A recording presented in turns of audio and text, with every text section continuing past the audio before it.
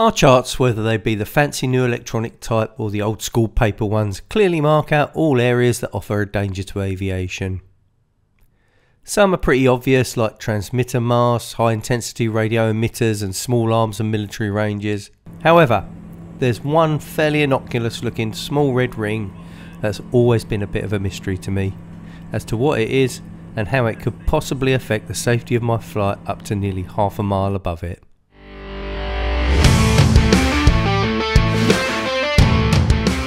Welcome to Short Field, a channel all about the lighter side of aviation. And today we're taking a look at the GVS or Gas Venting Station. So buckle up because here we go.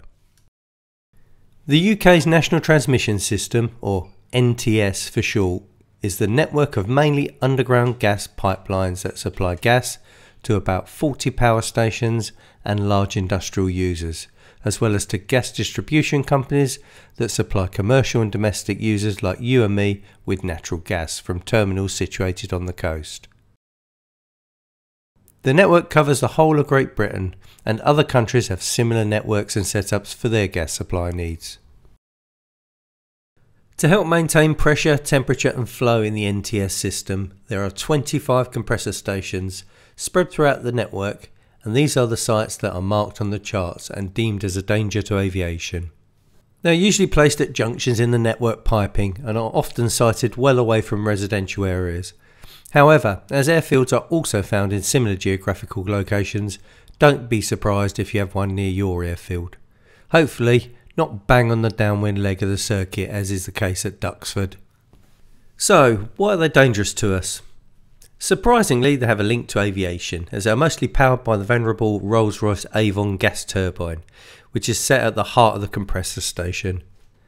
It is fueled by burning some of the gas it is compressing, and the hot exhaust from the turbine is directed into the air via ducting, which can cause turbulence immediately above the site when the compressor is running.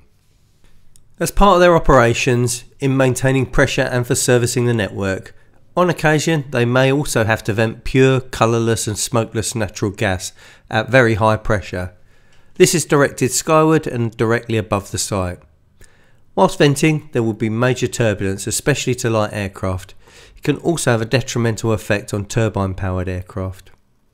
The danger area allocated to them has a fairly small footprint usually less than a mile in diameter, but can have a vertical restriction of over 3,000 feet, which just goes to show you just how seriously powerful this process is. Wind and prevailing conditions will affect the area of turbulence, but the marked vertical and lateral dimensions will denote the area of highest danger.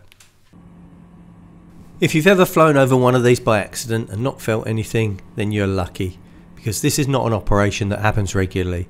But if it does, there will be no warning and it could really upset your day. So do yourself a favour and avoid overflying these at any time. They're a listed danger area, so should be respected. And after all, they're usually only half a mile or so in diameter and easily routed around. So that does it for this short episode. What's your thoughts on these and do you have one near where you fly? Or do you know someone that works at one? Please pop your comments in the section below. I'd love to hear about your thoughts, experiences or recommendations and I try to read every comment. Thank you so much for watching. I've really enjoyed making this video and these GVS sites will definitely be respected by me in future. If you'd like to see more content like this, please consider subscribing and don't forget to hit the notification bell so I can let you know next time I upload a video. Hopefully you found this video interesting, but please note I'm not an instructor and this is all based on my personal experience as a private pilot in the UK. Fly safe guys, and Short Field out.